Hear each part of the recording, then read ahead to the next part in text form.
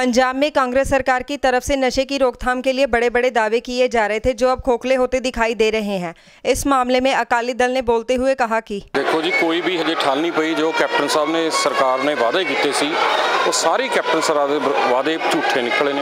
ਸਰਕਾਰ ਬੁਰੀ ਤਰ੍ਹਾਂ ਫੇਲ ਹੋ ਚੁੱਕੀ ਹੈ ਇਕੱਲੇ ਨਸ਼ੇ ਦੇ ਮਾਮਲੇ 'ਚ ਵੀ ਵਿਕਾਸ ਦੇ ਮਾਮਲੇ 'ਚ ਵੀ ਜਿੰਨੀਆਂ ਇਹਨਾਂ ਨੇ ਸਹੂਲਤਾਂ ਕਹੀਆਂ ਸੀ ਸਾਰਿਆਂ ਦੇ ਮਾਮਲੇ 'ਚ ਸਰਕਾਰ ਪੂਰੀ ਤਰ੍ਹਾਂ ਫੇਲ ਹੈ ਨਸ਼ਿਆਂ ਦੇ ਉੱਤੇ ਠੱਲ ਪਾਉਣ ਲਈ ਨਸ਼ਿਆਂ ਦੇ ਖਿਲਾਫ ਕਾਰਵਾਈ ਕਰਨ ਕੈਪਟਨ ਸਾਹਿਬ ਦੀ ਜਿਹੜੀ ਰਾਜਨੀਤੀ ਹੈ, ਉਹ ਬਿਲਕੁਲ ਹੀ ਗਲਤ। ਜੋ ਨਸ਼ੇ ਦੀ ਗੱਲ ਹੈ,